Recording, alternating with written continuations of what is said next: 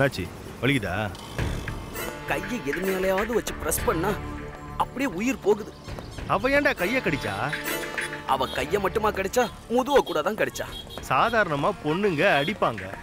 இல்ல நம்மள அடிவாங்க வைப்பாங்க. இவ ஏன் கடிச்சான்னு தெரியலையே. ஒரு வாட்டி நீ வேணா போய் கேட்டுட்டு வந்துடுறியா? எப்பா எனக்கு எதுக்குடா வீண் வம்பு? வா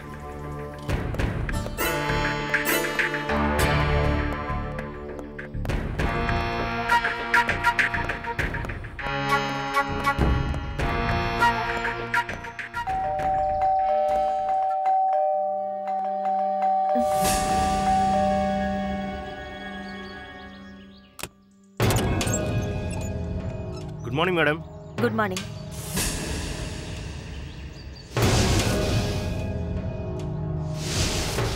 யாரு? உள்ள வந்து சொல்றேனே. சரி வா. வா.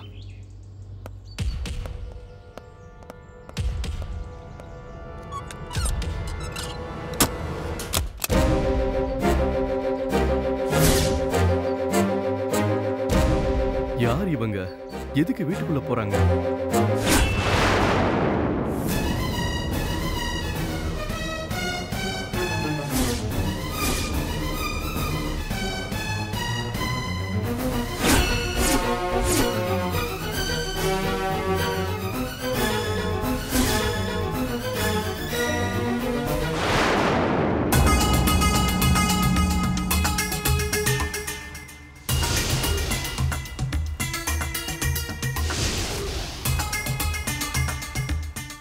தான் அந்த வீட்டுக்கு போனியா? ஆமா மேடம். உன் பேர் என்ன? Alex madam. உன் ஃப்ரெண்டா ஆமா மேடம். நீங்க அட்ரஸ் கொடுத்து இந்த வீட்ல இருக்கிற பொண்ணை விசாரிக்க சொன்னீங்கல்ல? ம் ஆமா. அதுக்கு நான் உடனே இவனை அனுப்பி அந்த பொண்ணை பத்தின தகவலை நான் கலெக்ட் பண்ணிட்டேன். நான் எனக்கு அஸ்டன்ட் மாதிரி நினைச்சு உனக்கு ஒரு வேலையை கொடுத்தா? நீ உனக்கு அஸ்டண்டா இவனை அனுப்புனியா? இல்ல மேடம். நாங்க ஃப்ரெண்ட்ஸ் உங்க ஃப்ரெண்ட்ஸுக்குள்ள சண்டை வந்துச்சுன்னா நாசுக்கா ஏன் விஷயம் வெளியே வந்துச்சுன்னா? நான் இல்ல செருப்படி வாங்கணும். சத்தியமா நீங்க கொடுத்த வேலையை பத்தி எங்க சைடுல இருந்து நாங்க வெளியில சொல்ல மாட்டோம் மேடம். மேடம் இவங்க வீட்ல எப்படிரா அடிபட்டுச்சுன்னு கேட்டதுக்கு நாய் கடிச்சதுன்னு சொன்னானே தவிர அந்த பொண்ணால ஆன காயம்னு சொல்லவே இல்லை மேடம். எந்த பொண்ணால ஆன காயம் இது? நீங்க பார்க்க சொன்ன இந்த பொண்ணால. அவ என்ன பண்ணா? நீங்க சொன்ன அந்த பொண்ணு வந்து தடார்னு வந்து கண்ணால அடிச்சு பார்த்ததும் நான் பயந்து போய் அப்படியே மயங்கிட்டேன் மேடம். ஓ மயங்கி கீழே விழுந்தப்போ இப்படி அடிபட்டுச்சா? கீழே விழுந்ததால அடிபடல மேடம். பின்ன? கண்ணு முழிச்சதுக்கு அப்புறம் அவகிட்ட சார் அடி வாங்கின காயம் தான் இது.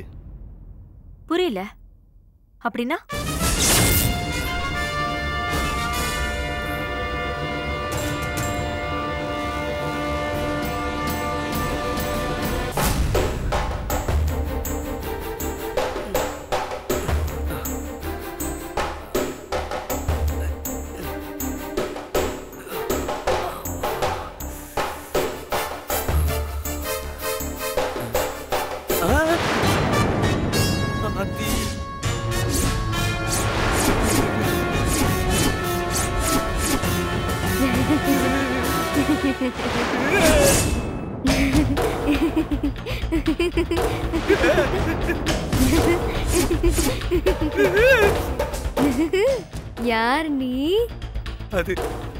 அது வந்து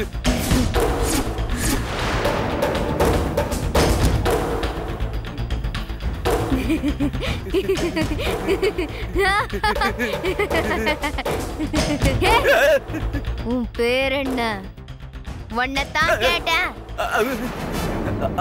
Alex. Alex. Alex. Alex Alex Alex நீ யார் அலெக்ஸ் நீ நீ யாருன்னா? என்ன தேடிக்கிட்டு இங்க வந்திருக்கியே. நீ யார் அலெக்ஸ் என் லவரா இல்ல. இந்த வீட்ல நீ லவ் பண்ற வேற யாராவது இருக்காங்களா அலெக்ஸ் சொல்லு அலெக்ஸ் இல்ல இல்ல. நீ என்னையும் லவ் பண்ணல? நீ லவ் பண்றவங்க யாரும் இந்த வீட்லயும் இல்ல. பின்ன எதுக்கு இங்க வந்த? அது வந்து எங்க மாமாவும் அக்காவும் வெளியூர் போயிருக்காங்க. அந்த விஷயமாச்சும் தெரியுமா? தெரியும். என் வயசு என்ன தெரியுமா? தெரியாது. பதினெட்டு வயசு. அக்கா மாமா ரெண்டு பேரும் வெளிய போயிருக்கும் போது தனியா இருக்க அதுவும் பதினெட்டு வயசு பொண்ணு இருக்க வீட்டுக்குள்ள எதிரி குதிச்சு வந்திருக்கியே. எதுக்கு வந்தப்பா? அது அது. ஓ வீட்டுக்கு வாஸ்தெல்லாம் கரெக்டா இருக்கான்னு செக் பண்ண வந்தியா அ- அ- அப்படியெல்லாம் ஒண்ணும் இல்ல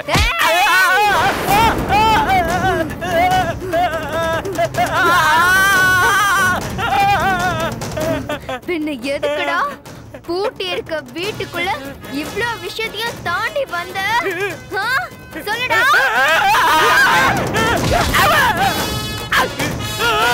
Oh!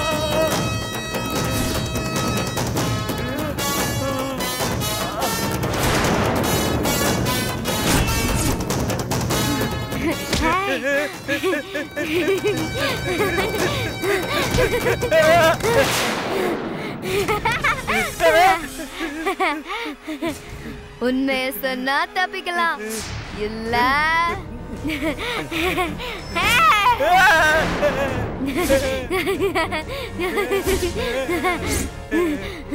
கத்துன? வேணாம் வேணாம்.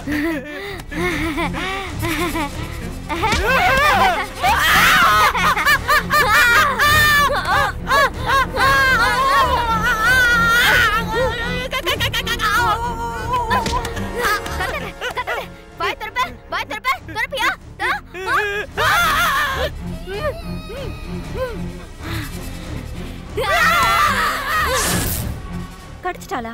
ஆமா மேடம். சதைய பிச்சிட்டா. அட பாவி எப்படி தாங்குன? என்ன பண்றது மேடம்? வலிய பொறுத்துக்கிட்டு தாங்கிக்கிட்டு தான் இருந்தேன். மேடம் ஒரு கையில கத்திய வச்சிருக்கா. இன்னொரு பக்கம் கத்தியால ஒண்ணு பண்ணாம கடிக்கிறானா? என்ன அர்த்தம் மேடம்? அவ ஒரு சைக்கோவா இருக்கணும். இல்லனா? இல்லனா? அவளுக்கு பேய் பிடிச்சிருக்கு. அது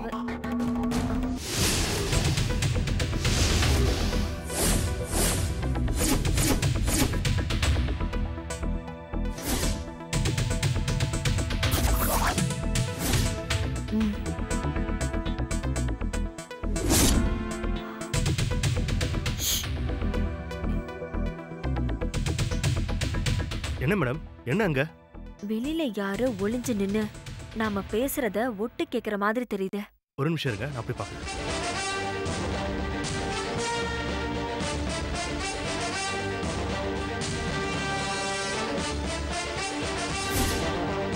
யாருமே காணுமே மேடம். நான் பார்த்தேன். அங்க யாரோ இருக்காங்க. அங்க யாருமே இல்ல மேடம். தெரியல. நீ உள்ள போ. சரி.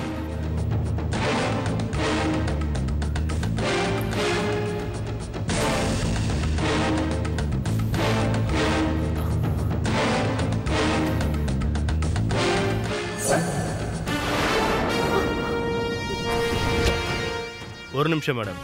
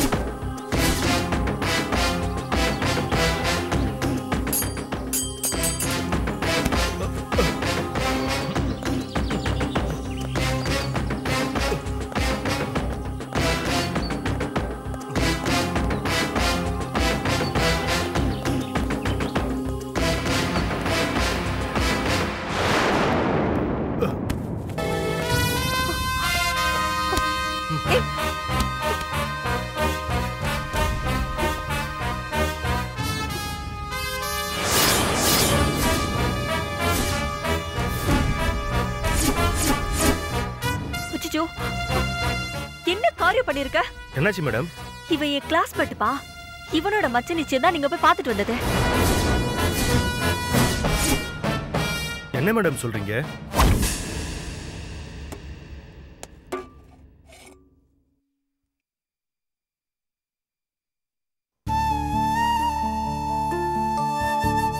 கடவுளே ஒவ்வொரு வாட்டியும் என் தங்கச்சிக்கு சாப்பாடு கொண்டு போகும்போது உன்கிட்ட வந்து வேண்டிக்கிட்டு தான் கொண்டு போறேன். இந்த சாப்பாடை அவ நிம்மதியாக சாப்பிடணும். அவளுக்கு எந்த பிரச்சனையும் இல்லாமல் அவ நல்லா இருக்கணும். அதுக்கு நீதான்ப்பா துணையாக இருக்கணும்.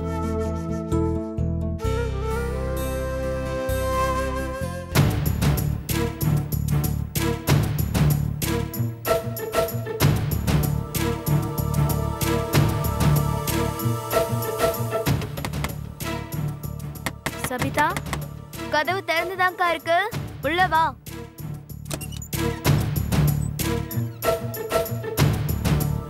என்ன பண்ணிட்டு இருக்க சபி? இன்ஜினியரிங் ஃபர்ஸ்ட் மேக்ஸ் ரொம்ப டஃப்னு சொன்னேன்லக்கா. ஆமா. அத படிச்சு எக்ஸாமுக்கு ப்ரிப்பேர் ஆயிட்டு இருக்கேன் என்னக்கா சாப்பாடு? உனக்கு பிடிச்ச ஐட்டமா தான் பண்ணிருக்கேன் ம், சாப்பிட்டு சொல்லு. தேங்க்ஸ்க்கா அங்க வச்சிடுங்க. அக்கா? என்னடா? நேத்து நான் தூங்கிட்டு இருக்கும்போது என்னக்கா நடந்துச்சு? என்ன நடந்துச்சு? டாக்டர் வீட்டுக்கு வந்திருந்தாரு போல இருக்கு எந்த டாக்டர்? நம்ம ஃபேமிலி டாக்டர்க்கா? நான் தூங்கிட்டு இருக்கிறதா நினைச்சு அவர் என்கிட்ட இருந்து பிளட் சாம்பிள் எடுத்துட்டு போன விஷயம் எனக்கு தெரியும். முழிச்சிட்டு தான் இருந்தியா? ஆமா. என்ன சபிதா இப்படி பண்ற?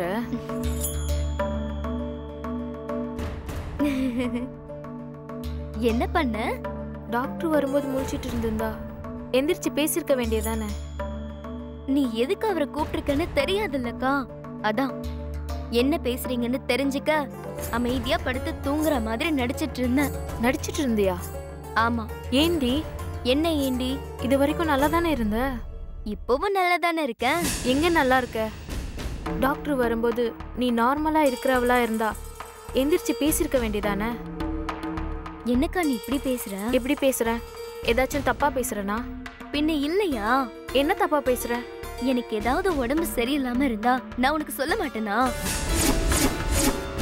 எனக்கு உடம்பு சரியில்லைன்னு நான் சொன்ன பிறகு நீ ஹாஸ்பிட்டலுக்கு கூட்டிட்டு போயிருந்தேன்னா அப்போ பிளட் எல்லாம் செக் பண்ணியிருந்தேன்னா நீ நார்மல் டிஸ்டர்ப் இல்லாம நான் பாட்டுக்கு நல்லா தூங்கிட்டு இருந்தேன். திடீர்னு பேச்சு குரல் கேக்குது. அவ நல்லா தூங்குறா நீங்க தூக்கத்திலே பிளட் எடுத்துட்டு போங்க. அப்படின்னு சொன்னா என்னக்கா அர்த்தம்? மாமா என்ன வீட்ல இருந்து அனுப்பிட சொல்லிட்டாரா?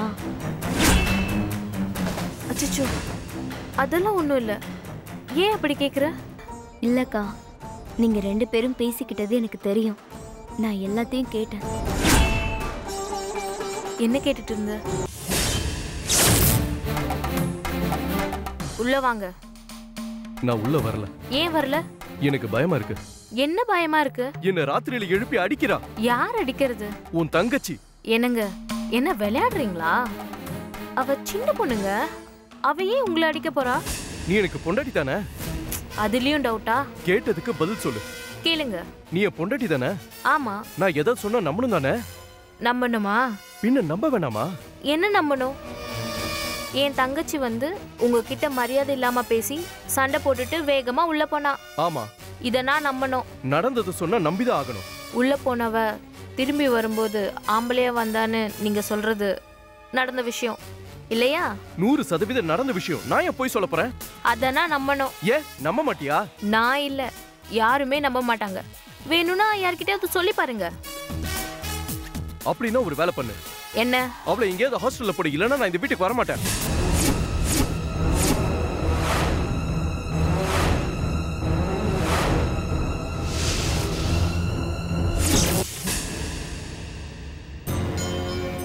மாமா அப்படி சொன்னதை நான் கேட்டேன்க்கா. அதுக்கப்புறம் நான் என்ன பண்ணேன்? அதெல்லாம் எனக்கு தெரியாது. அது எப்படி உனக்கு தெரியும்? ஏன்னா அதுக்கப்புறம் நீ பண்ண எதுலையுமே நீ நீயா இல்லையே? புரியல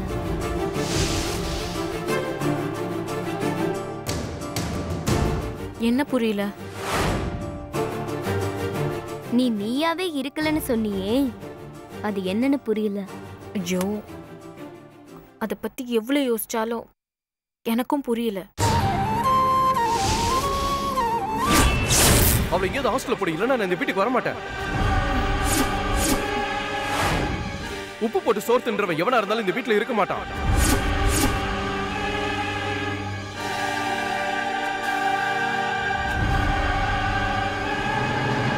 சபிதா. என்ன? என்ன பண்ண போற மாமாவை? பார்க்க தானே போற? பாரு.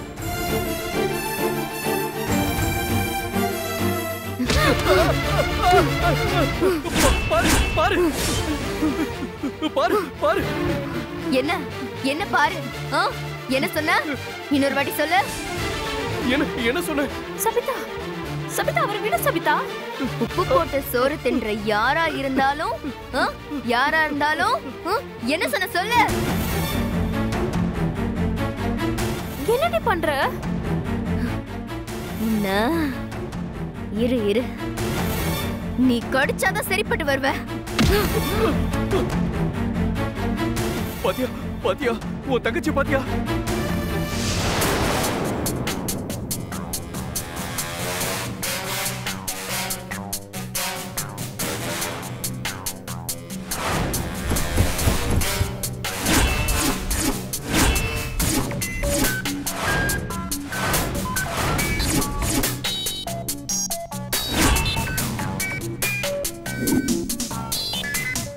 யாருப்பா நீ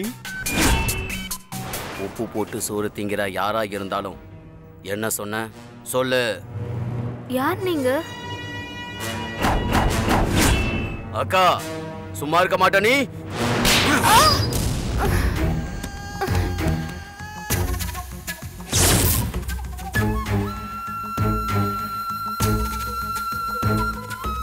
நான் அப்படி பண்ணனா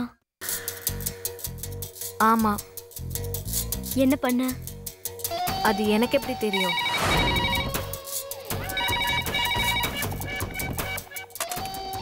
ஹலோ?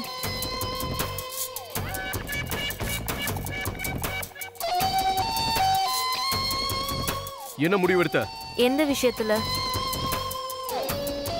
அந்த வீட்ல யார் இருக்கணும்னு நான் முடிவு பண்ண சொன்னேன். என்னால எந்த முடிவுமே எடுக்க முடியல.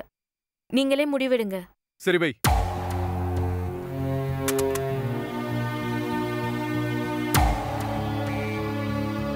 என்ன யோசிக்கிற துர்கா? இல்ல. அந்த பொண்ணு உன் மச்சினிச்சு.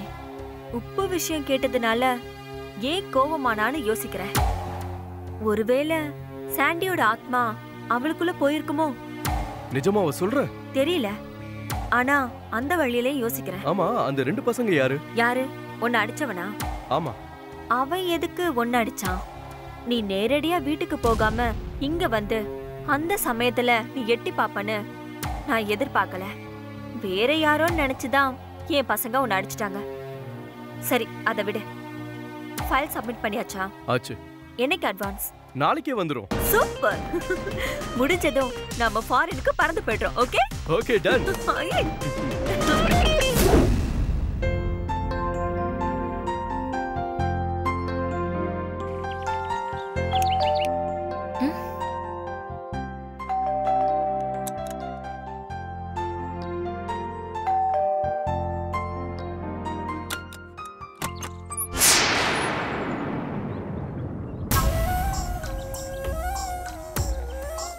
வணக்கம் மேடம். வணக்கம்.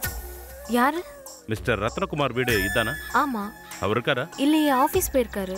ஆபீஸ் போயிருக்காரா? ஆமா. அங்க இல்லையே. அங்க இல்லையா? ஆமா. நான் அங்க போய் பார்த்துட்டு தான் வீட்டு அட்ரஸ் வாங்கிட்டு வரேன். அவர் ஆபீஸ்க்கு இப்பதான் ஒரு இருபது நிமிஷத்துக்கு முன்னாடி புறப்பட்டு போனாரு. அவர் ஆபீஸ்க்கு வர மாட்டாரு வேலையை விட்டு நின்னுட்டாருன்னு அங்க சொன்னாங்களே. அப்படியா? ஆமா. வெஸ்ட் கிளாக்ஸ் கம்பெனில தானே வேலை பார்க்குறாரு? ஆமா. அவரு வேற ஏதாவது புது வேலையில ஜாயின் ஆயிருக்காரா? இல்லையே. அந்த கம்பெனியில தான் இருக்காரு. அப்படின்னா அவர் அங்க இல்ல. சரி விடுங்க. அவர் வேலையை ரிசைன் பண்ணி பதினஞ்சு நாள் ஆகுதாம் வீட்டில் தெரியப்படுத்தல போல இருக்கு. சரி நான் வரேன் மேடம். ஒரு நிமிஷம். நீங்க யாரு? எந்த விஷயத்துக்காக இப்போ நீங்க அவரை பார்க்க வந்திருக்கீங்கன்னு தெரிஞ்சுக்கலாமா? தாராளம்.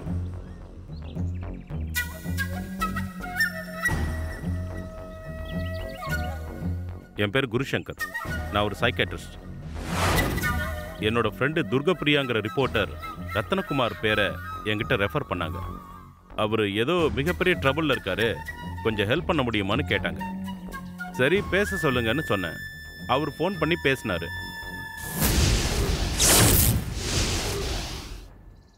Doctor I am Ratnakumar. சொல்லுங்க. துர்கா பிரியா உங்ககிட்ட என்னை பத்தி சொல்லியிருப்பாங்க. சொன்னாங்க. உங்களுக்கு ஏதோ மிகப்பெரிய ப்ராப்ளம்னு. ஆமா டாக்டர். என்ன ப்ராப்ளம்? வீட்டுக்கு வந்தா நான் அனுபவிக்கிற நரக வேதனைக்கு ஒரு தீர்வு வேணும் டாக்டர். வீட்டுக்கு வந்தா நீங்க அனுபவிக்கிற நரக வேதனைனா எனக்கு புரியல. உங்க மனைவி டார்ச்சர் பண்றாங்களா? இல்ல டாக்டர். பிரச்சனை வேற. நீங்க புறப்பட்டு என் கிளினிக் வர்றதுல உங்களுக்கு ஏதாவது பிரச்சனை இருக்கா? இல்ல டாக்டர். நான் வரேன். அழறீங்களா அதெல்லாம் ஒண்ணு இல்ல டாக்டர்.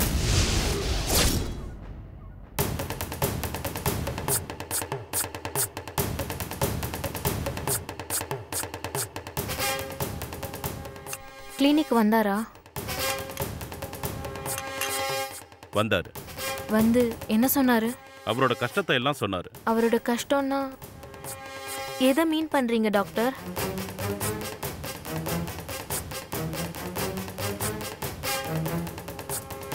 ஏன்?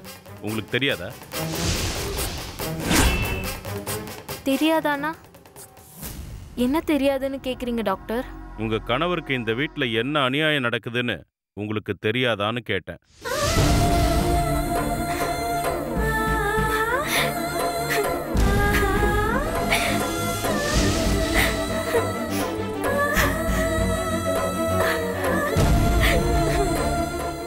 என்ன மேடம் கண் கலங்குறீங்க?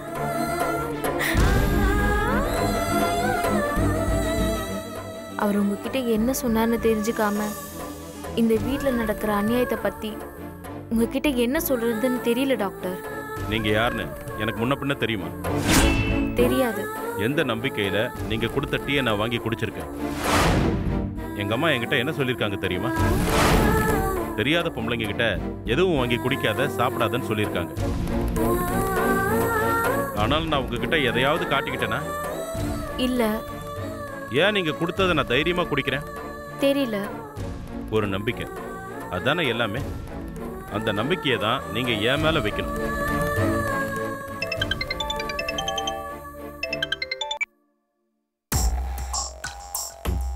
குரு. எஸ் துர்கா. அந்த ரத்னகுமார் வீட்டுக்கு போனியா? அவர் வீட்டில் தான் இருக்கேன். அவரு ப்ராப்ளம் என்னன்னு கேட்டியா? அந்த ரத்னகுமார் நேத்து என்கிட்ட கிளினிக்ல பேசும்போது நீங்க காலையில என் வீட்டுக்கு வரும்போது என் ஆபீஸ் கிட்ட வாங்க சார். நானும் உங்க கூட வரேன்னு சொன்னாரு. சரி. ஆனா ஆபீஸ்ல விசாரிச்சா அவர் வேலையை விட்டு நின்னே பதினஞ்சு நாள் ஆகுதுன்னு சொல்றாங்க. ஓகே. அப்புறம் எதுக்கு ஆபீஸ்க்கு வாங்கன்னு சொன்னாரு? அவர் கரெக்டா தான் சொல்லியிருக்காரு. நான் தான் தப்பா புரிஞ்சுக்கிட்டேன்.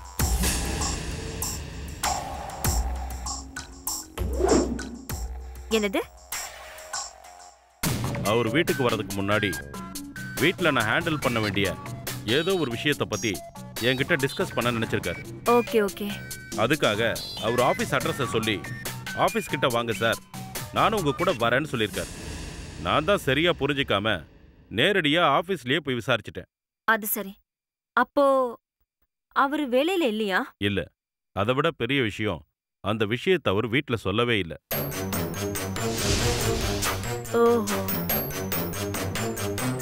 நான் இப்போ அந்த விஷயத்தை இங்க சொல்லிட்டேன். அவர் இங்க வந்தா என்ன பிரச்சனை நடக்க போதோ தெரியல. அதெல்லாம் ஒண்ணும் பிரச்சனை இல்ல. நான் ரத்னகுமார் மிஸ்ஸஸ் கிட்ட பேசுறேன். அவங்க உனக்கு பழக்கமா? ரெண்டு மூணு வாட்டி மீட் பண்ணியிருக்கேன். பேசியிருக்கேன். பெரிய பழக்கம்லாம் இல்ல. ஏன்? இல்ல. அவங்க அவங்க ஹஸ்பண்டை பத்தி ஏதோ ஒரு விஷயத்தை கன்வே பண்ணணும்னு ஆசைப்படுறாங்க. ஆனா அவர் இன்னும் லைனுக்கு வராததுனால அதை என்கிட்ட கன்வே பண்றதுக்கு யோசிக்கிறாங்க. இன்னும் ரத்னகுமார் லைன்ல வரலையா? வரல. ஃபோன் பண்ணா எடுக்க மாட்டேங்கிறாரா? ஃபோன் சுவிட்ச் ஆஃப்னு வருது. பேசாம நான் ஊருக்கு போயிட்டு வந்ததுக்கப்புறம் இந்த விஷயத்தை சால்வ் பண்ணலாமா? என்னைக்கு வருவ? பதிமூணு நாள் ஆகும். ஐயோ பாவம். அவ்வளோ நாள் ரத்னகுமார் அந்த டார்ச்சரை தாங்கணுமே. டார்ச்சர் டார்ச்சர்னு சொல்றீங்க. என்ன டார்ச்சர் ரத்னகுமாருக்கு? அவங்க ஒய்ஃப் கூட சாஃப்டா தானே தெரியுறாங்க? பிரச்சனை அவங்க ஒய்ஃப் இல்ல. பின்ன? ஒய்ஃபோட தங்கச்சி. ஒய்ஃபோட தங்கச்சி தான் ரத்னகுமார் ஒய்ஃப் உன்னையே பாக்குறாங்களா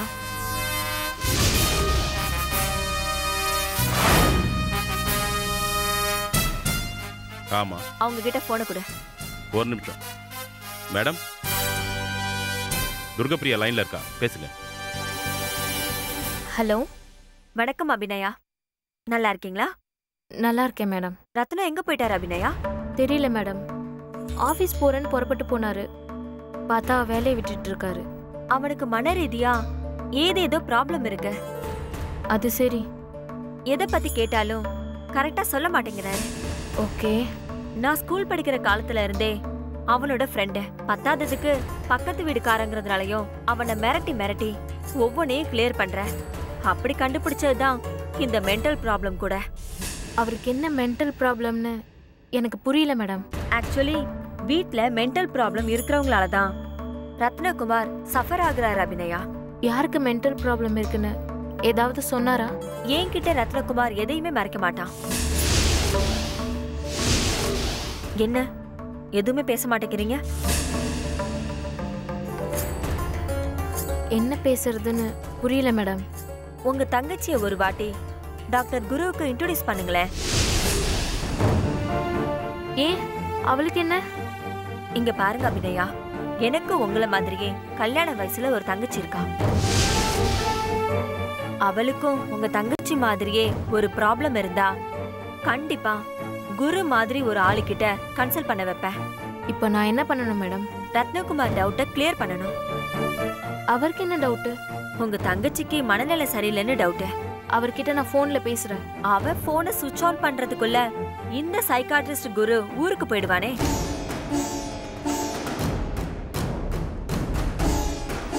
இப்போ நான் என்ன பண்ணணும்? ஒரு வாட்டி உங்க தங்கச்சிய குருவுக்கு இன்ட்ரோடியூஸ் பண்ணி பேச வைங்க. என்னன்னு பழக்கப்படுத்தணும். உங்களுக்கு தெரிஞ்ச ஒரு கம்பெனி பிசினஸ் மேன்னு பழக்கப்படுத்துங்களேன்.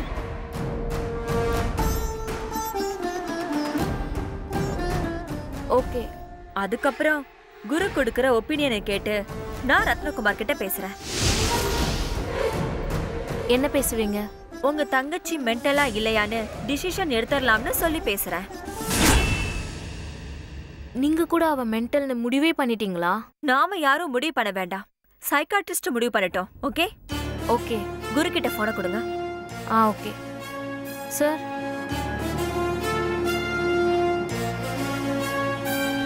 சொல்லு.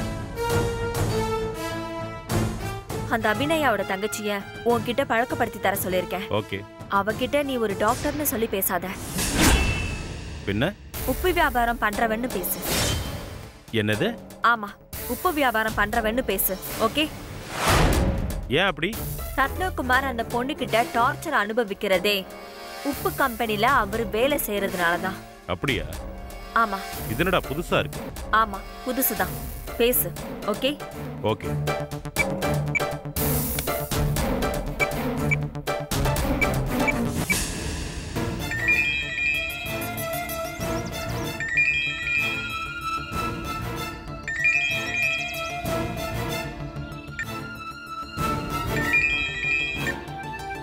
ஹலோ.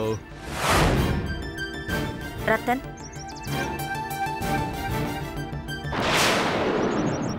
என்ன?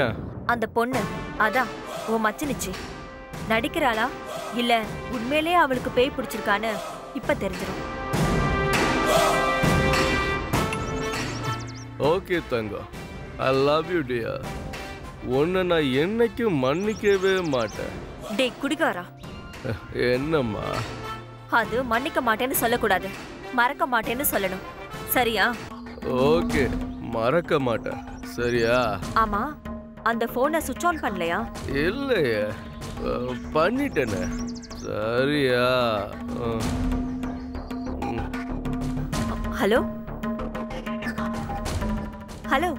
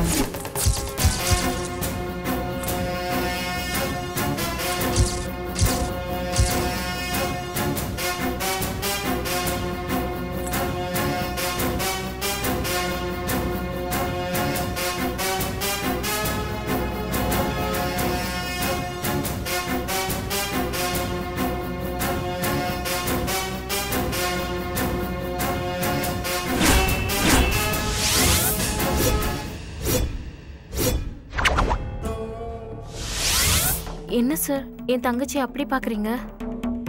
நான் இல்லை மேடம் பார்க்கறது பின்ன? நான் தான் அவர் அப்படி பார்க்குறேன் போல இருக்கு. இல்லையா சார்? உங்க கண்ணு உங்க பார்வை உங்க இஷ்டம். எப்படி வேணா பார்க்கலாம் பாருங்க. என்ன வேணும் உங்களுக்கு? ஒன்றும் வேணாம் மேடம். எதுக்காக அப்படி முறைச்சிங்க? நான் எங்க முறைச்சேன்? நீங்க தான் அப்படி பார்த்தீங்க.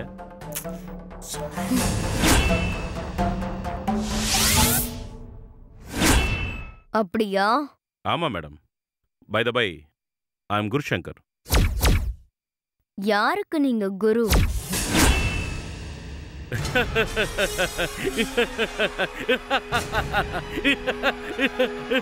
நைஸ் ஜோக் நல்லா ஜோக் அடிக்கிறாங்க உங்க தங்கச்சி. ஜோக்கெல்லாம் இல்ல. சீரியஸா சொல்றேன். சீக்காளி ஆரோக்கியசாமின்னு பேர் வச்சுட்டு சுத்துற மாதிரி இருக்கு. உங்களுக்கு குருஷங்கிற பேரு. அப்படியா? ஆமா. உங்க பேர் என்ன? ஏன்? சும்மா தெரிஞ்சுக்க தான் கேட்டேன்.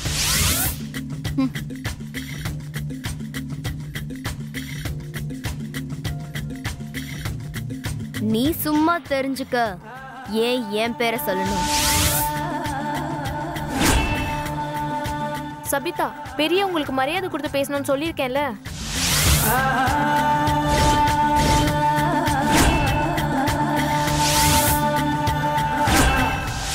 என்ன? அதைத்தான் நானும் கேக்குறேன். என்ன? பெரியவங்களுக்கு மரியாதை கொடுத்து பழகணும். இப்படி மரியாதை இல்லாம பேசக்கூடாது. இவன் யாருக்கா? உங்க வீட்டுக்காரனா?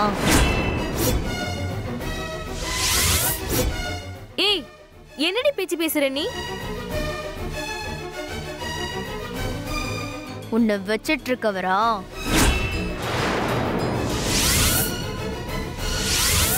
ஏய் நாக்குல சூடு வச்சிருவேன். நீ என்ன வேணா பண்ணிக்கோ.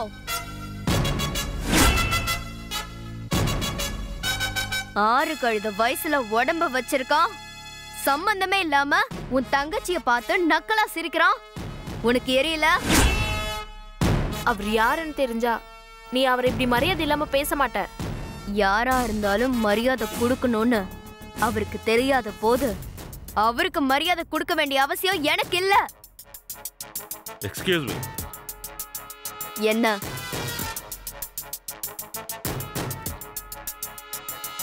எக்ஸ்கியூஸ் மீ எப்படி இருக்கீங்க? நல்லா இருக்கீங்களா?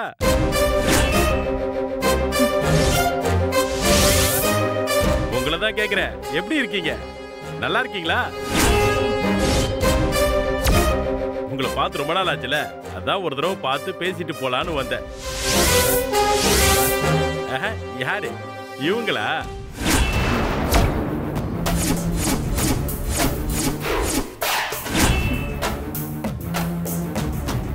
இவங்க பேர் அபிநயா.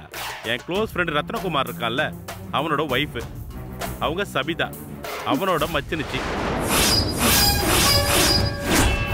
ஆமா இந்த வாட்டி உப்பு வியாபாரத்துல நான் ரொம்ப ஹாப்பியா இருக்கேன்.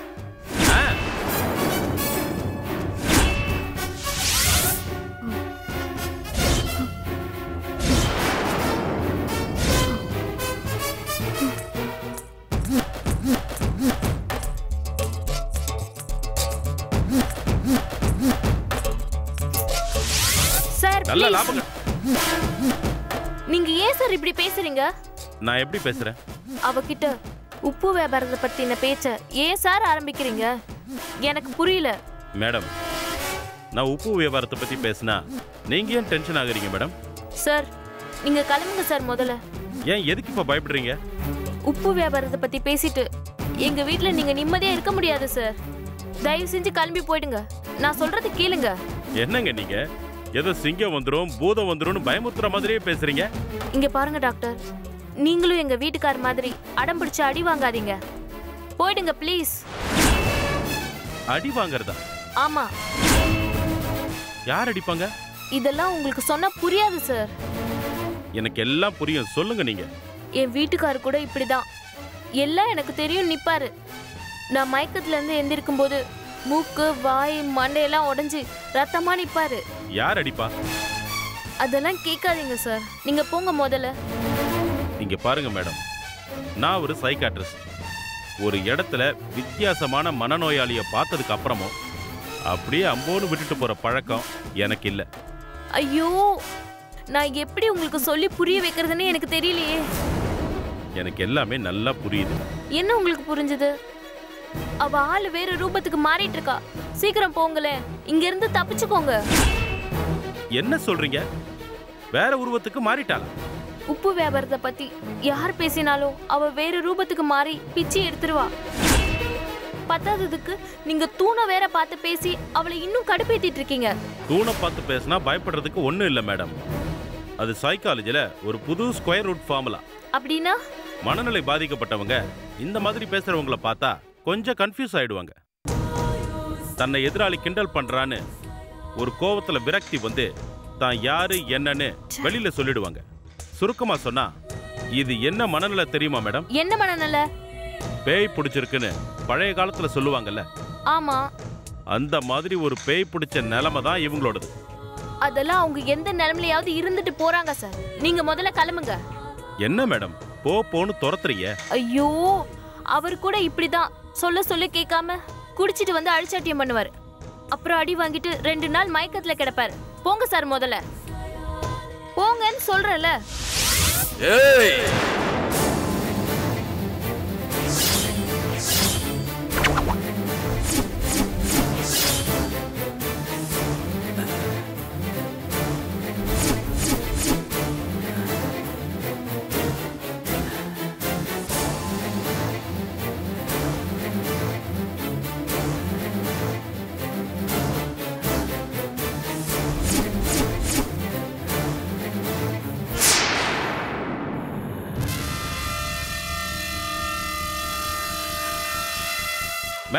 இது யார் மேடம்?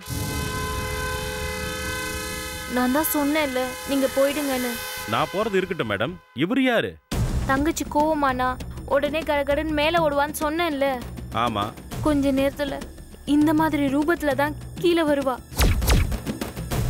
பொம்பளையா மேல போனவ ஆம்பளையா எப்படி கீழே வருவா மேடம்? அதுக்கு தான் நான் அப்பவே தப்பிச்சு போயிடுங்கன்னு சொன்னேன். எனக்கு சத்தியமா உங்க தங்கச்சி இந்த ரூபத்துல இருப்பாங்கன்னு தெரியாது மேடம்.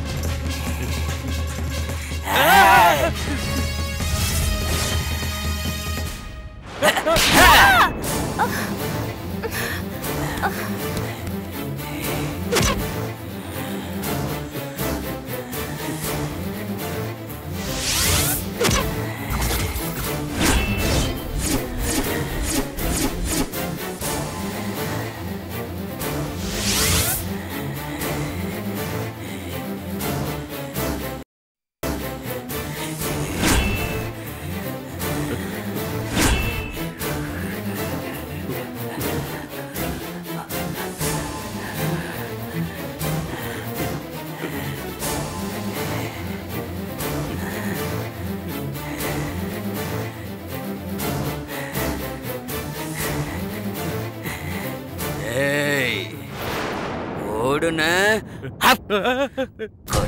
கடிச்சிடுவேன். நான் எங்கேயும் ஓட மாட்டேன். ஓடுற உடம்பா இது.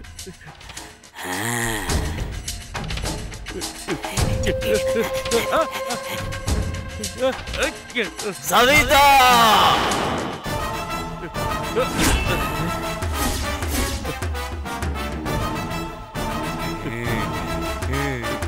Yeah.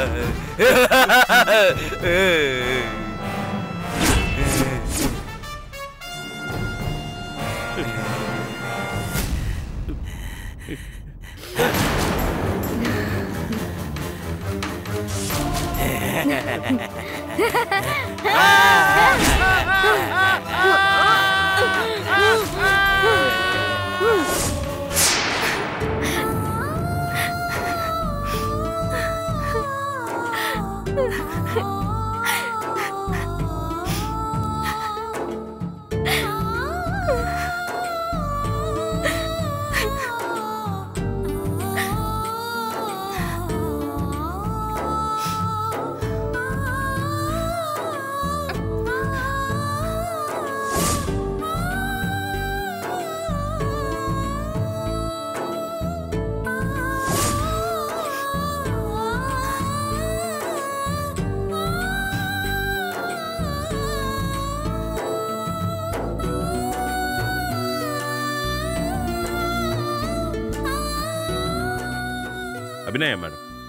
ஏன் கண் கலங்குறீங்க? ஒன்னும் இல்ல குரு. ரத்தன் குடிகாரனா மாறிட்டானேன்னு ரொம்ப ஃபீல் பண்றாங்க. இல்ல அபிநயா? அது இல்லை மேடம். தரையில படுக்கிறது அவருக்கு பிடிக்காதுன்னு சொல்லுவாரு. அதை யோசிக்கிறேன். குடிபோதையில இருக்கும்போது ஒரு இடம்தான் உடம்ப தேடுமே தவிர அது தரையா மெத்தையான்னு எல்லாம் தெரியாது அபிநயா. ரத்தன் ரத்தன்! வேண்டாம் மேடம். ஏ? அவர் தூங்கட்டும். எழுப்ப வேண்டாம். அப்படியா? அவங்க சொல்றதுதான் கரெக்ட் துர்கா. ஏ? என்ன அவசரமா இருந்தாலும் ஒருத்தங்களை தூக்கத்துல இருந்து எழுப்பக்கூடாது. அதுக்காக அப்படியே தூங்க விடுறதா? ஏதாவது சாப்பிட கொடுக்க வேணாமா? ஏதாவது சாப்பிட்டாரா? மூணு தோசை கொடுத்தேன். சாப்பிட்டா? வரும்போது குடிச்சிருந்தாரா? ஆமா. ராத்திரி ஒரு பதினோரு மணி இருக்கும். கால் டாக்ஸில வந்தா. ஹாரன் அடிச்சாங்க. நான் போய் பார்த்தேன். இவன் இங்க படுத்திருக்கான். வீட்டுக்கு போக சொன்னா நான் போக மாட்டேங்கிறான். என்னன்னு கேட்டா நான் சொல்ல மாட்டேன். இங்கே படுத்துக்கிறேன்னு சொல்லிட்டான். உன் பொண்டாட்டி தப்பா நினைப்பாடான்னு சொல்லியிருக்கணும். நீ வேற. அது சொன்னதுக்கு அப்புறம் தான் வீட்டுக்குள்ள வந்து படுத்தான். அவருக்கு வர வர. வீட்டுக்கு வரதே பிடிக்கலங்க. அதத்தான் அவனும் புலம்பி புலம்பி தூங்குனான். நான் அவரை தனிப்பட்ட முறையில் செக் பண்ணதுல எனக்கு ஒரு விஷயம் தெளிவா தெரிஞ்சது அபிநயா மேடம். என்னது? உங்க தங்கச்சி அந்த வீட்ல இருக்கிற வரைக்கும் உங்க புருஷன் உங்க கூட நிம்மதியா குடும்பம் நடத்த முடியாது. என்ன குரு? என்ன? இப்படி அவங்க மனசை காயப்படுத்துற மாதிரி சொல்லுவீங்களா?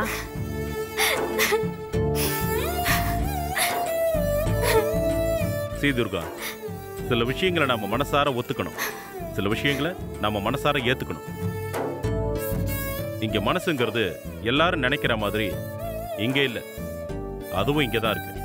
இங்கே வர தாட்ஸில் நாம் கிளியராக இருந்தால் நம்ம திங்கிங்ஸும் கரெக்டாக இருக்கும். நம்ம திங்கிங்ஸ் எல்லாம் கரெக்டாக இருந்தால் நம்ம லைஃப் ஸ்டைல் நல்லா இருக்கும்.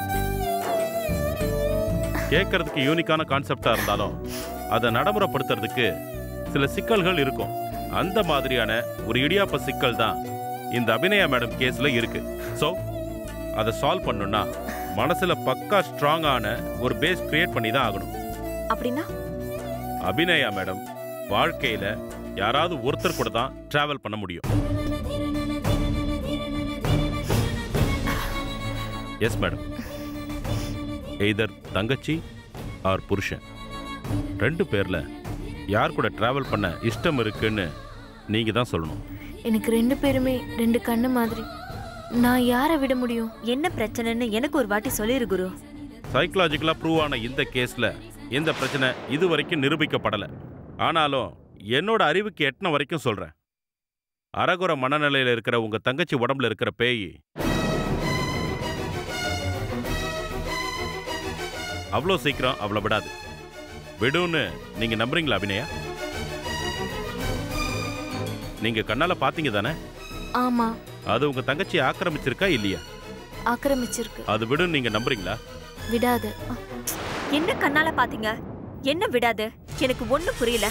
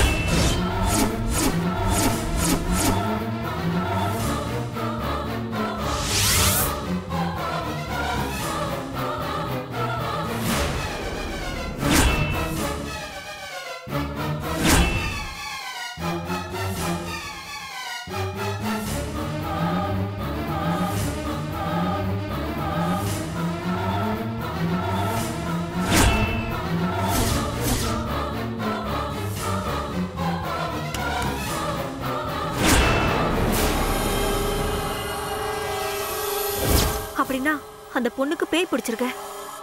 ஆமா. அவகிட்ட நீ பேசுனியா குரு? பேசினேன். பேய் பிடிச்சிருக்குன்னு நீ ஒத்துக்கிறியா? நூறு சதவீதம் ஒத்துக்கிறேன். என்ன குரு? என்ன? இருபத்தோரா நூற்றாண்டுல இருக்கோம் குரு. இப்ப போய் பேய் இருக்குன்னு அதுவும் நீ ஒரு சைக்காட்ரிஸ்ட் நீயே ஒத்துக்கிற? சட்டையை கழட்டி காட்டுறேன். நீயே பாரு. முதுகுல கடிச்சிருக்கா? கையை கடிச்சிருக்கா? ரத்தம் ஊத்திச்சு.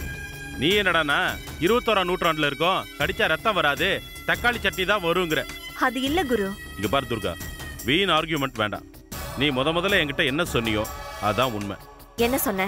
அந்த பொண்ணு படுற டார்ச்சரை ரத்னகுமாரால தாங்கிக்க முடியாம தினம் தினம் தவிக்கிறாருன்னு சொன்னல ஆமா. அதுதான் உண்மை. அந்த பொண்ணு என்னை கடிச்சதுக்கு அப்புறம் தான் எனக்கு அந்த கடியோட வலி என்னன்னு புரிஞ்சுது.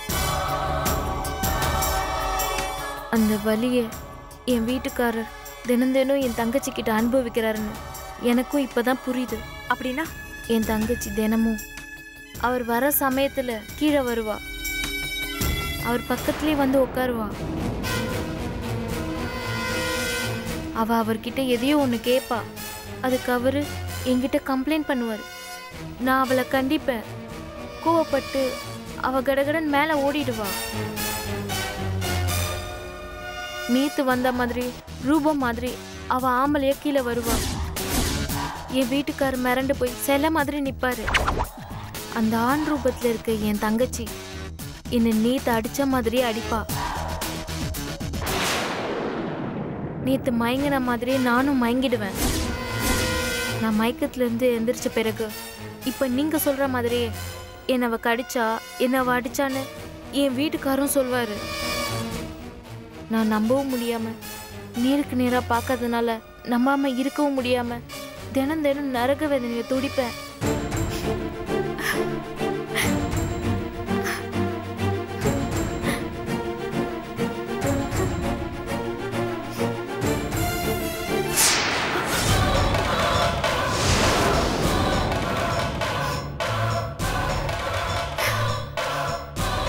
கிளம்புறேன் மேடம். இவன் என்ன பண்ணலாம் எந்திரிச்சதும் வரட்டும். அப்படியா? ஆமா. ஒரு கட்டத்துக்கு மேல யாரையும் யாரும் ஃபோர்ஸ் பண்ணி எதையும் செய்ய முடியாது இல்லையா?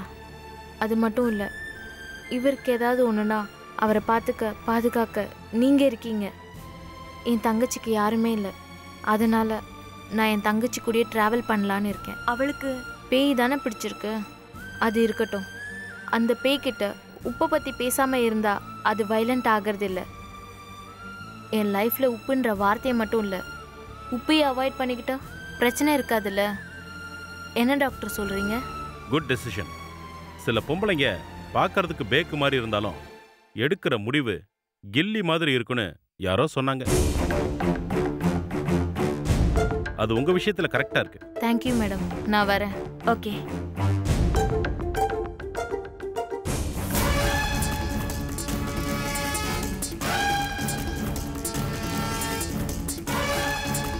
என்ன துர்கா அப்படி பாக்குற? இவ தங்கச்சியை நீ பாத்தியா? பார்த்தேன். விசாரிச்சியா? விசாரிச்சேன். அவ என்ன சொன்னா? அவ அப்பாவி. அவளுக்கு எதுவும் தெரியாது. இன்னசென்ட் அவ கடிச்சு கொடூரம் பண்ணான்னு சொன்ன? அது அவங்க சொன்ன மாதிரி உப்பு டாபிக் பேசுறப்ப மட்டும்தான். அப்படின்னா உப்பு டாபிக் பேசும்போது அந்த பொண்ணு கோவப்படுறது உண்மைதானா? அந்த பொண்ணு கோவப்படல. பின்ன? உப்பு விஷயத்துல அந்த பேய் தான் கோவப்படுது. பேய் எங்க இருக்கு? பேய் உடம்புல இருக்கு. நிஜமாவா? நூறு சதவீத நிஜம்.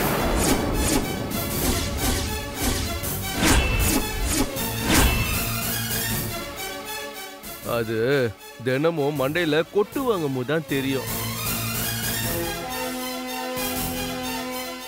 கொட்டா ஆமா எனக்கு விடாம தலையில கொட்டு தான் விழும்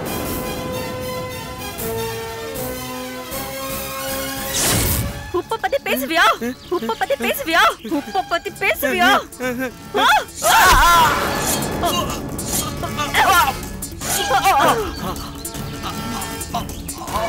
Ah!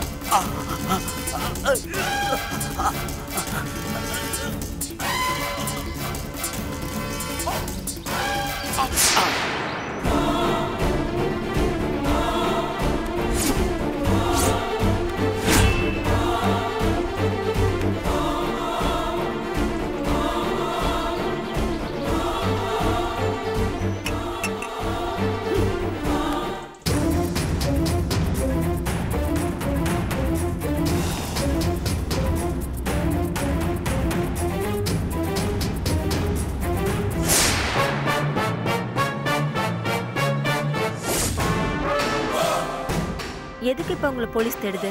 உப்பு கம்பெனிக்காரங்க என் பேர்ல கம்ப்ளைண்ட் கொடுத்துருக்காங்க. அந்த கம்பெனிக்கு இன்னைக்கு மார்க்கெட்ல என்னால பேட் நேம் ஆயிடுச்சு. சரி. என்ன கேஸை வாபஸ் வாங்க சொன்னாங்க. ஓகே. இல்லைன்னா என்னை கொன்னுடுவேன்னு சொன்னாங்க. சரி இப்ப எதுக்கு என்கிட்ட வந்தீங்க? தோட்டா நிழல் தோட்டான்னு. நீங்க ஒரு தொடர் எழுதுறீங்கல்ல மேடம்? ஆமா. அதுல சமூகத்துல நடக்கிற பல அநியாயங்களை நீங்க தோல் உரிச்சு காட்டுறீங்கல்ல மேடம்? ஆமா. அதே மாதிரி என்னோட இந்த உப்பு பிரச்சனையை கூட கொஞ்சம் பெருசுப்படுத்துங்க மேடம். என்னது உன் உப்பு பிரச்சனை? அவ்வளோ பெரிய கம்பெனி மேல எந்த சப்போர்ட்டும் இல்லாம தனியால கேஸ் போட்டிருக்கீங்க. அது என்ன ஒரு கேஸ் கொஞ்சம் இந்த ஃபைலை பாருங்க மேடம். என்னது? இதுதான் நான் ரிசர்ச் பண்ணி கண்டுபிடிச்ச உப்போட உண்மைகள். என்ன மேடம் சிரிக்கிறீங்க? என்ன பண்ணி டுவெண்ட்டி ஃபர்ஸ்ட் செஞ்சுரி போயிட்டு இருக்கோம். நிலாவிலேயே போய் ரியல் எஸ்டேட் பண்ண ஆரம்பிச்சிட்டோம். இப்போ போய் சாதாரண உப்பு பிரச்சனைக்கு ஐயாயிரம் கோடி ரூபாய் டேர்ன் ஓவர் பண்ற கம்பெனியை எதிர்க்கிறியே? அப்படி என்னப்பா தப்பு பண்றாங்க? சாதாரண பிரச்சனையாக தான் உப்பை எல்லாரும் பார்க்குறாங்க கெமிக்கல்லி அதை சோடியம் குளோரைடுன்னு சொல்லுவாங்க. அதோட குறியீடு என்ஏசிஎல் முன்னாடி எல்லாம் கடல் தண்ணியை ஆவியாக்கினா தான் உப்பு கிடைக்கும். கலப்படம் இல்லாத உப்பு விலையும் குறைவு. உடம்புக்கும் ஆரோக்கியம். முன்னெல்லாம் ஆள் இல்லாத கடையில் பூட்டின கடைக்கு வெளியில் உப்பை வச்சுட்டு போனதா கதையெல்லாம் சொல்லுவாங்க. ஆனால் இப்போ நான் கேஸ் போட்டிருக்கிற இந்த கம்பெனி கடல் தண்ணி ஆவியாகி வர்ற உப்பு உடம்புக்கு ஆபத்து? அதுக்கு சத்து குறைவுன்னு ஆராய்ச்சியில் கண்டுபிடிச்சதா சொல்லி நமக்கு கெமிக்கல் கலந்த உப்பை விற்க அரசாங்கத்துக்கிட்ட பர்மிஷன் வாங்கிட்டாங்க. அவங்க கொடுத்த உப்பை ருசிக்காக சாப்பிட்ட அப்பாவி மக்கள் ஆரோக்கியத்தை தொலைச்சிட்டாங்க. ஓ அப்படியா? ஆமாம் மேடம். அந்த கம்பெனி தந்த உப்பை சாப்பிட்டதுக்கு அப்புறம்தான் ஜனங்களுக்கு பிபி ஏறிச்சு சுகர் ஏறிச்சு தைராய்டு ப்ராப்ளம் வந்துடுச்சுன்னு சகலத்துக்கும் என்கிட்ட ப்ரூஃப் இருக்கு. எங்க இருக்கு அந்த ப்ரூஃப் இந்த ஃபைலில் தான் வச்சிருக்கேன் மேடம். இப்ப நான் என்ன பண்ணணும்? இந்த ஃபைலை ஒரு வாட்டி படிங்க. இதில் இருக்கிறதெல்லாம் பொதுமக்களுக்கு போய் சேர்ற மாதிரி உங்க மேற்பார்வையில் ஒரு தொடரா எழுதணும். இன்ட்ரெஸ்டிங்கா இருக்குமா? நாக்கு ருசிக்காக ஆயுசை தொலைச்சிருக்கோம். அதுவே இன்ட்ரெஸ்டான கான்செப்ட் தானே மேடம் இத கோர்ட்ல சொன்னியா? கேஸ் போட்டதுக்கு என்ன பல பேர் மிரட்டுறாங்க மேடம் ஓகே நீங்க நேர்மையான ரிப்போர்ட்டரும் தான் இந்த ஃபைலை உங்ககிட்ட கொடுக்க சொன்னாரு. அந்த ரத்னகுமார் சார். சரி. நான் இத பாக்குறேன். நல்ல முடிவா சொல்றேன். ஓகே ஓகே மேடம் நான் வரேன். சரி. ம்.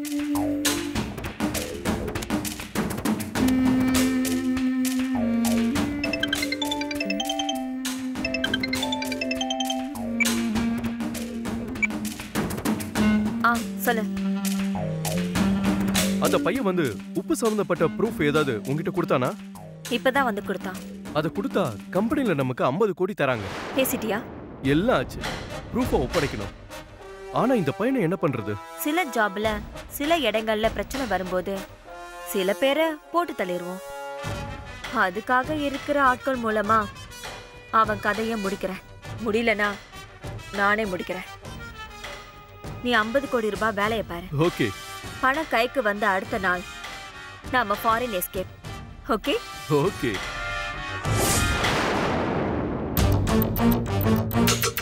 Durga. போலாமா? போலாம். என்ன முடிவாச்சு? நாங்க டைவர்ஸ் வாங்குறது முடிவாயிடுச்சு. ஓகே போலாம்.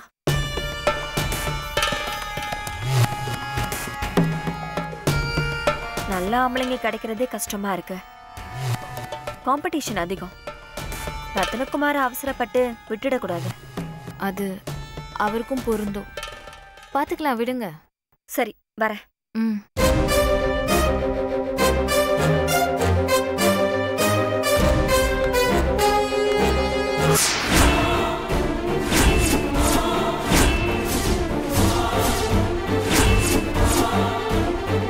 என்ன மேடம் அப்படி பார்க்குறீங்க? உங்களுக்கு ரத்னகுமார் விஷயத்தில் வந்த டவுட்டு உண்மையிலேயே இந்த வீட்டில் என்ன நடக்குதுன்னு கண்டுபிடிக்க சைக்காட்ரிஸ்டா என்ன அனுப்புனீங்க. ஆனால் போலீஸ் ஃபேமிலியில் பிறந்து டாக்டரான எனக்கு ஒரு பர்சனல் இன்ட்ரெஸ்ட் வந்ததுனால இந்த கேஸுக்கு பின்னாடி வேற ஒரு விஷயம் இருக்கிறத நான் யூகிச்சேன். அதை கண்டுபிடிக்கணும்னு அப்போ தான்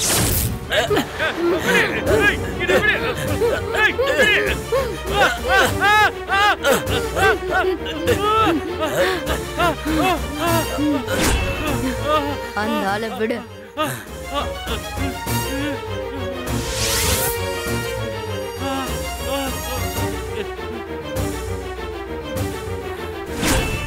அப்பா ஐயோ.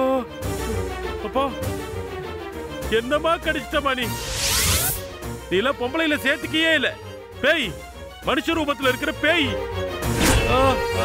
தெரியுதுல்ல? என்ன? என்ன தெரியுதுல பேய்ங்கிறது தெரிஞ்சதுல்ல? ஆ தெரிஞ்சா? இதோட இந்த கேஸ்ல நீ தலையிடக்கூடாது. ஓடி போயிடணும். ஓஹோ ஓடி போயிடணுமா? ஆமா. இனிமே நீ உப்பு வியாபாரத்தை பத்தியோ எங்க அக்கா புருஷனுக்கு மனநிலை குணப்படுத்துறதுக்கோ நீ இந்த வீட்ல தென்பட்டா நீ உயிரோடவே இருக்க மாட்ட. நீயும் எங்களை மாதிரி ஆயிடுவ. உங்களை மாதிரினா? எங்கள மாதிரினா இப்போ நான் இருக்கிற மாதிரி ஆயிடுவேன்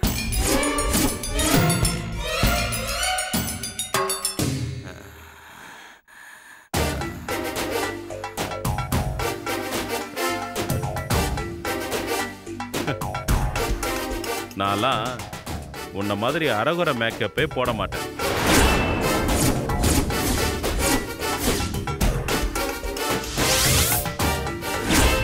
ஜோம்பிக் மாதிரி பேக்கப் போட்டா ஜோம்பிக் பேய் மாதிரி பக்காவா போடுவேன். பாக்குறியா? மேக்கப்பா பின்ன இல்லையா? அதை கூட கண்டுபிடிக்க முடியாத அளவுக்கு பேக்கு மாதிரியா நாங்க தெரியுறோம். அலெக்ஸ்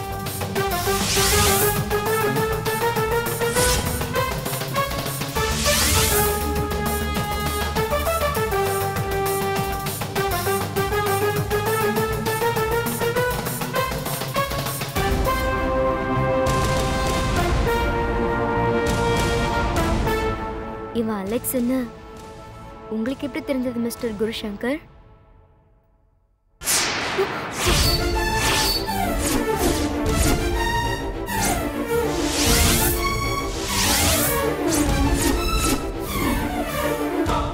ஏய் என்ன கண்ணு அவ மேல வைக்கிற? மரியாதையா இப்படி சபிதா பக்கம் வந்துடு அலெக்ஸ் இல்லனா உன் க்ளோஸ் ஃப்ரெண்டு சபி என்கிற இந்த சபிதாவை சுற்றுவேன். வா இப்படி.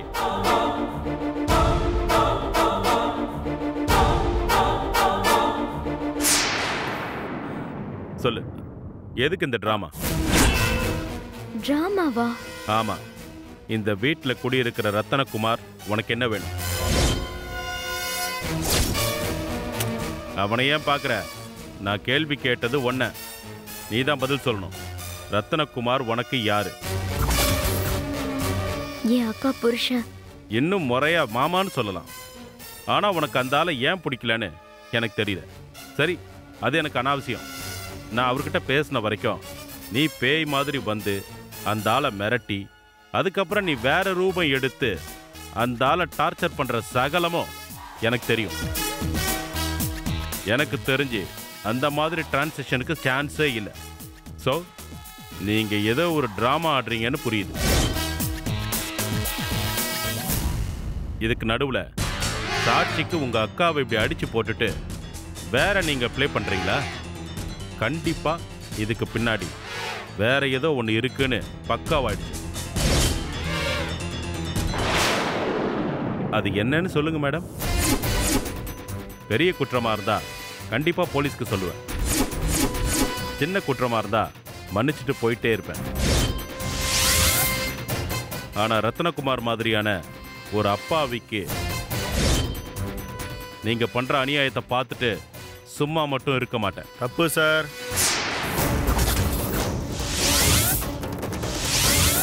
நீங்க சொல்றது தப்பு சார். என்ன தப்பு? ரத்னகுமார் அப்பாவின்னு நீங்க சொல்றது தப்பு சார். அப்படின்னா? எங்க மாமா அநியாயம் பண்றாருன்னு சொல்றாரு. யாருக்கு அநியாயம் பண்றவரு?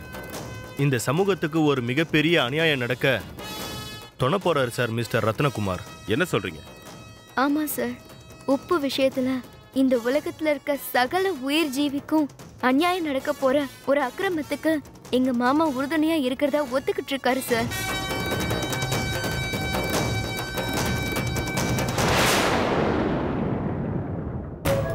எனக்கு நீங்க சொல்றது புரியல. ஆமா.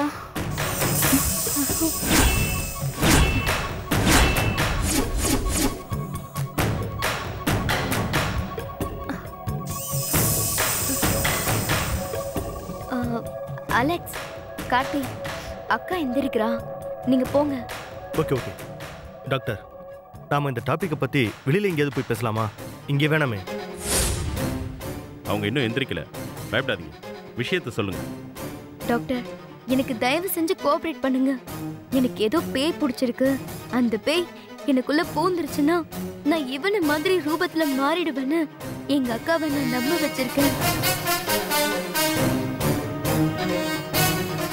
இவங்க மாமா போதையில இருக்கும்போது நாங்க மூணு பேரும் கொழப்பு கொழப்புன்னு குழப்பி அவரை கடிச்சு வச்சு அடிச்சு வச்சு உப்பு பேயின்னு ஒரு பேய் தான் இதெல்லாம் செய்யுதுன்னு அவரை மென்டலி ப்ரிப்பேர் பண்ணியிருக்கோம். இப்போ நம்ம மாட்டினா அது எல்லாமே கெட்டு போயிடும் சார். இப்போ நான் என்ன பண்ணணும்? உங்களை நாங்கள் கடிச்சு காயப்படுத்திட்டு தான் ஒரு ட்ராமா ஆடணும். அந்த ட்ராமா எப்படி இருக்கணும்னு நான் உங்களுக்கு சொல்கிறேன் சார். அதுக்கு நீங்க தான் கோஆபரேட் பண்ணணும். ப்ளீஸ் அக்கா எந்திரிச்சிட போறாங்க.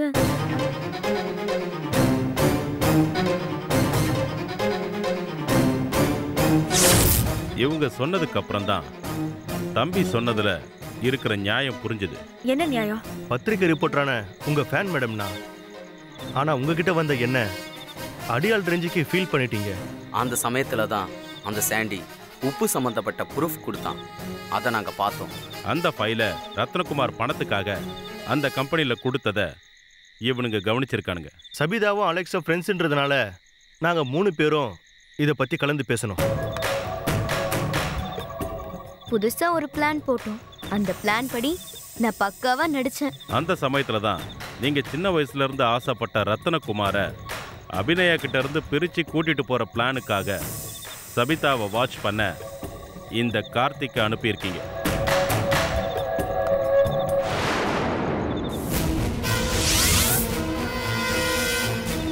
அந்த சான்ஸை யூஸ் பண்ணி இவங்க மூணு பேரும் கரெக்டாக உங்களை மடக்கிட்டாங்க. இதுல நான் ராமருக்கு உதவுனா அனில் மாதிரி. அவ்வளவுதான். போலாமா மேடம்